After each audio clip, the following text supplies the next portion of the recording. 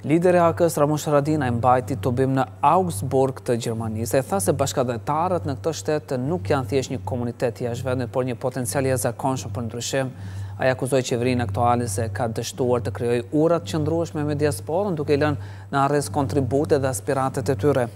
Ai u zotua se do të ndryshojë rrënjësisht këtë qasje përmes lehtësirave konkrete tatimore, për bizneset e diasporës dhe krijimit të një profili të qartë ekonomik që prezenton mundësitë reale për investime. Haradinaj premtoi se do të formalizojë dhe arsimin plotësues në diasporë dhe do të krijojë programe mentorimi për transferimin e njohurive. Sipas tij, Kosova që po e ndërton e anëtarësuar direkt në NATO përmes planit aksional, ka nevojë për energjinë, ekspertizën dhe rrjetet ndërkombëtare të diasporës.